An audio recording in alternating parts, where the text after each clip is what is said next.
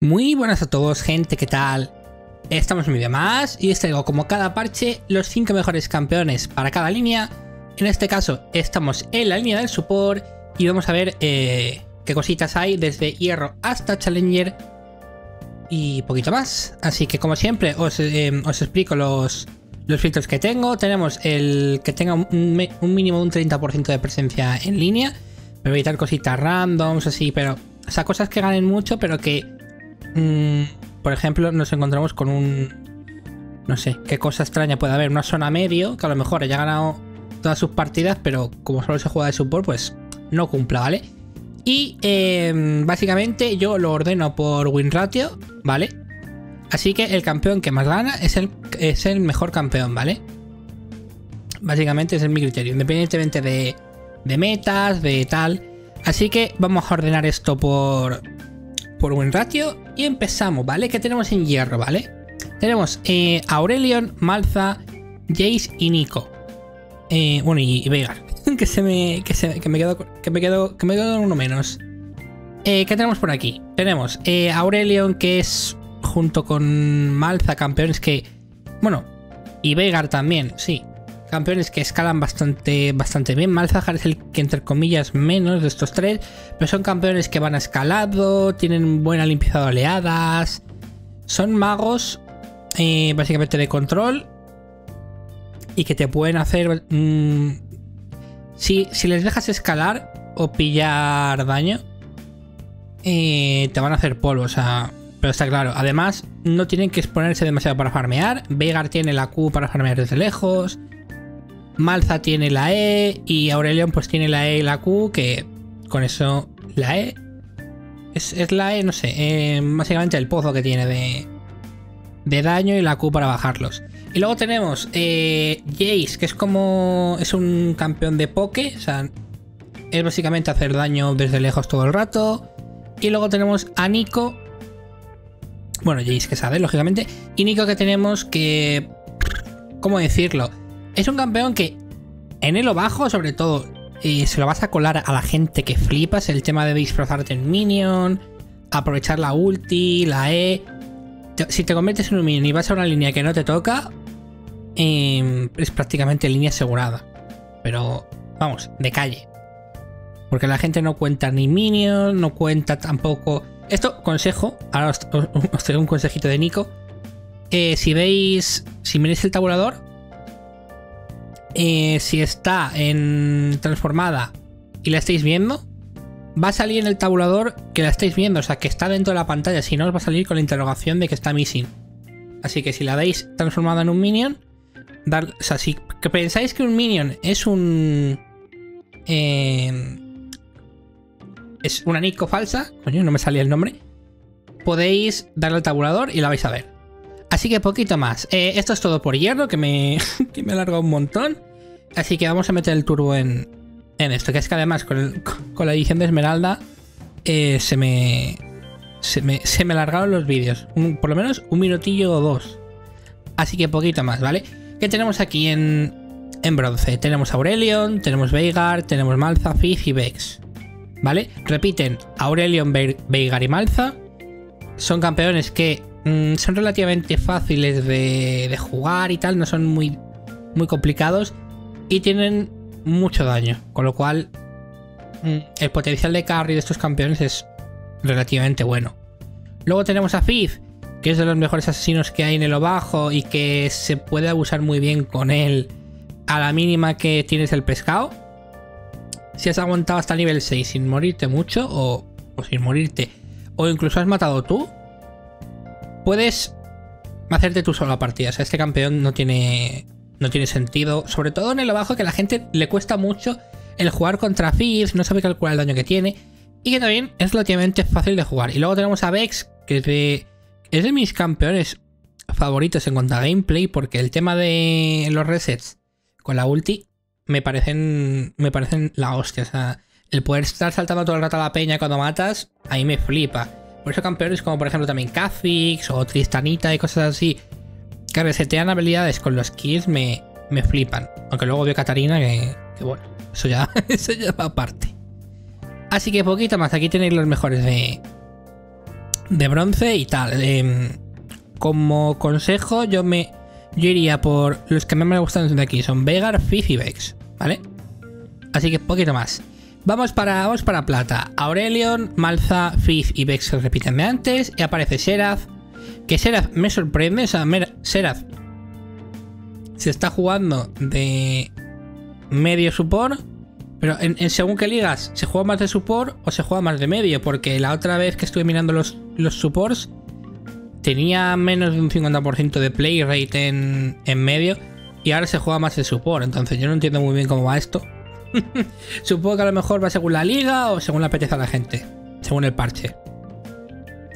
¿Qué es lo que tiene Serath? Pues es un campeón, entre comillas, como Jace, entre muchas comillas, es un campeón de pokeo, de farmear de lejos, de pegarte daños de lejos de tu casa y no tiene que exponerse demasiado. Entonces, eh, con los buffos que está teniendo y tal, Rito, pues lo está intentando mover del support al medio, ¿vale? Porque eh, lo consideran, lógicamente, un mago midlaner. Riot, pues, está haciendo nerfeos a temas de generaciones de mana, cooldowns y tal, que te afecten de forma que si lo juegas de support no regeneres tanto mana para abusar de las habilidades, pero en medio, con los, con los objetos de sustain, de regeneración de mana y tal, o mana máximo, pues vayas, vayas mejor, ¿vale? Y también que el tema de subir niveles, pues te venga mejor, porque generas más, te da más mana máximo, etc, etc, etc. Vale, así que eso es todo por, por plata, vámonos a oro. En oro tenemos a Sherath, Aurelion, Vex que repiten y tenemos Panteón, que así para ponerlo a grosso modo es un poco un FIF pero versión AD, o sea, tiene mucho daño bruto, la gente no se espera el daño que tiene, em, salta súper fácil y además tiene la ventaja de que puedes utilizar eh, la ulti para ramear a top, a, bot, donde te apetezca, pero no hace falta que te acerques excesivamente mucho para poder utilizar la ulti. Entonces, ¿qué es lo que pasa? Que puedes gankear otras líneas si tú vas por delante. O si vas más o menos bien, pues es un poquito la línea, tienes la ulti, gankeas y kill. Y haces snowball, snowball, snowball, pues y al final pues acabas ganando. Y luego Casiopea, pues es como una de carry, entre muchas comillas de carry, pero en su versión con la E. ¿Qué es lo que pasa con Casiopea? Que tiene en la W que hace que si anclas a un enemigo no se mueva, o sea, es complicado. Entonces, campeones que, que son así, rollo, entre comillas, inmóviles, que solamente tienen un dash, este campeón viene súper bien. Si además lo cuadras con la ulti, tú le metes la ulti, le metes la W encima, y ese pavo, aparte de que le vas a meter daño extra por el tema del veneno de la W con la E, lo haces polvo, o sea, Casiopea es esos campeones que como se ponga por delante, es un campeón súper abusivo. Y además tiene la ventaja de que como llegue el late, tiene un objeto más que tú. Porque este campeón no se tiene que hacer botas. Entonces como no se tiene que hacer botas, tiene un hueco de objeto extra. Que eh, se lo puede... El oro que no se gaste en botas, lo puede aplicar a objetos, con lo cual, entre comillas, va mejor de oro. Y si se alarga muchísimo la partida como para tener esos objetos, pues vas a tener ese ese extra de AP sin perder movilidad como perderías con otros con otros magos. Así que eh, ahí está.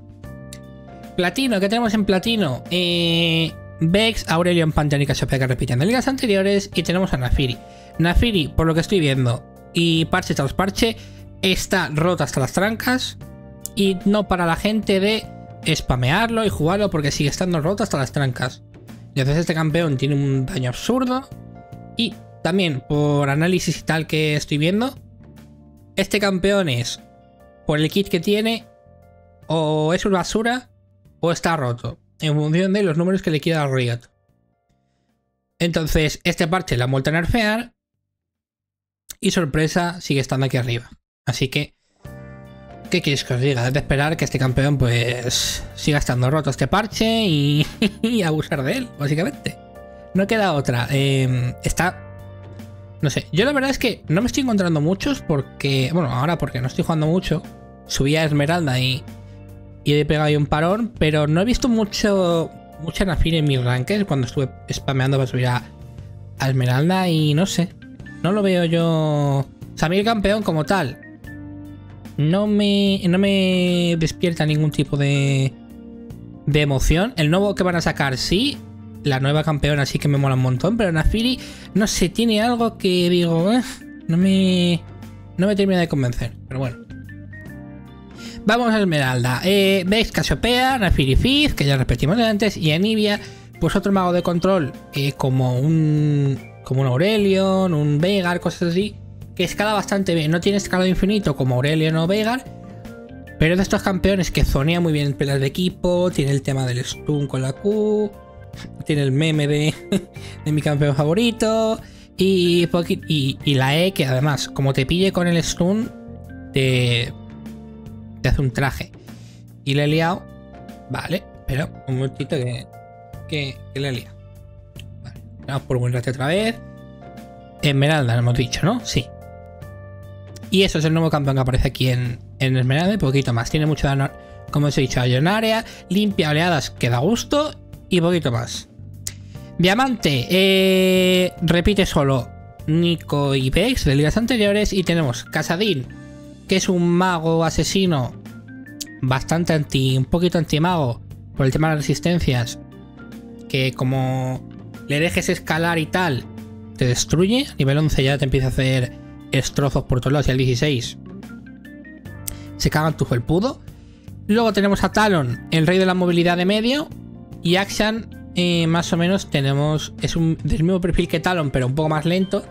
Con la ventaja de que gana oro extra si mata a la gente que ha matado a tus compañeros, puede revivir. Y que con la tontería tiene mucho daño. O sea, este campeón parece que no, pero se ha instalado aquí en medio y de ahí no lo mueve ni, ni su padre. Master, ¿qué tenemos en Master? Eh, ves Casio, Axian y Malza que repiten y aparece Silas que en los altos siempre gusta Silas porque es muy tiene mucho potencial de outplay. Es decir, de humillar a la gente, de aprovechar la curación, el tema de la movilidad de la E, robar ultis, que según quien lo robes, pues puedes hacer un estrozo, cosas así, ¿vale? Si lo robas, por ejemplo, a un Nico que está aquí y destrozas vivo, o sea, tú te metes con la E y te lanzas encima de la peña con la ulti y, y hasta luego, Mari Carmen. O con la nueva que va a hacer polvo porque escala que flipas. Escala con. Con 120% de AP. No sé si la han bajado a 110. No sé, veremos. Ya estaré un videíto de, de la campeona jugándola. Ya, os lo traje en el vídeo. os traje ya una demostración, pero bueno, ahí está. Pero eso para el parche que viene. Grandmaster, ¿qué tenemos en Grandmaster? Aquí ya la gente empieza a tener menos. O sea, empieza a ver menos gente, con lo cual los campeones cambian, pero eh, tenemos Casadín, eh, Silas y Aurelion, que repiten del gas anteriores. Y eh, tenemos como Annie, que Annie la verdad es que no requiere de mucho esfuerzo para jugarla bien, para que me entiendan. Y luego tenemos por la contraparte Catarina, que tienes que tener muy buenas manos para poder manejar esto. Entonces, en teoría, quieres ganar Master. Y como vayas hasta las trancas, o sea, y si sabes jugar bien, te vas a poner hasta las trancas que flipas. Y ahí por lo que tienes mucho daño bruto, que es muy fácil de jugar. Y el CC que tiene, pues te puede ayudar a, a carrilear partiditas. ¿Vale? Y como último rango, tenemos a, eh, bueno, a Challenger, ¿sabes? Como si fuera un, como si fuera un campeón. El Challenger. No, eh, ¿qué tenemos en, en Challenger? Tenemos a Nico, Action y Kazadin que repiten. Y tenemos Twisted Fate, que mm, no es como una versión de Talon porque no es asesino, pero tiene, es. Bueno, es entre comillas como un panteón, pero sin la versión de asesino, o sea, panteón en modo mago. De limpiar oleadas, de te meto un stun y que mi equipo te reviente, cositas así. Y además, pues no tiene un mal limpieza de oleadas. Lo que pasa es que si hay mucho minion se le, se le puede hacer bola. Y luego Talilla, que ha recibido recientemente este parche, no creo, me acuerdo, este parche o el anterior, recibió un bufito y parece que se está instaurando un poquito en, en lo que es el meta de solo cubita. Y además que se está jugando relativamente bastante. Porque 7 de pick rate está bastante bien. Mm, sí, porque el que más rate tiene, por ejemplo, es Leblanc con, con 9. Azir 7. O sea, se está jugando lo mismo que Azir y tal, que es lo que más se juega en competitivo. O sea, lo que más se juega en competitivo es eh, Azir, creo. Azir, Azir algo. Así que, pues eso. Poquito más, gente. Esto es todo, estos son los 5 mejores midlaners del parche 13.17 desde hierro hasta Challenger y poquito más. Si os ha gustado, una manita para arriba, como siempre ya sabéis, suscribiros para más y nos vemos en el próximo vídeo de la Liga de Leyendas. A la gente, adiós.